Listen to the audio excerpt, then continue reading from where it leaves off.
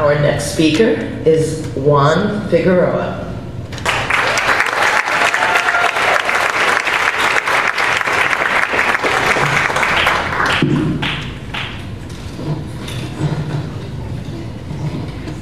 My name is Juan, and I am 11 years old. I have started since preschool. Before I came to American Institute for Stuttering, I to the school speech teacher, but I didn't think that was very helpful. Then my parents brought me to AIS. It was the first time saw who understood how stuttering is like. For the last couple of years, I've been going to Kiss Therapy Group. Each week we talk about how we could and, and if we used any speech skills that week, and we play a game and stretch speech skills. My favorite games are horse and fluency Yahtzee. I have to admit though, I'm a bit of a sore loser.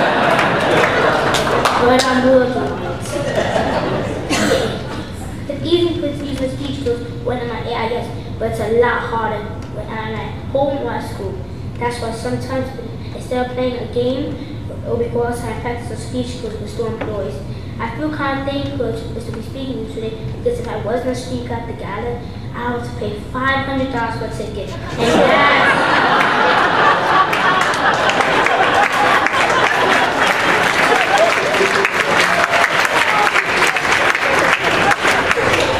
And that's a lot of moolah. Seriously though, thank you for your support. I get to go to AIS every week because you are all so generous.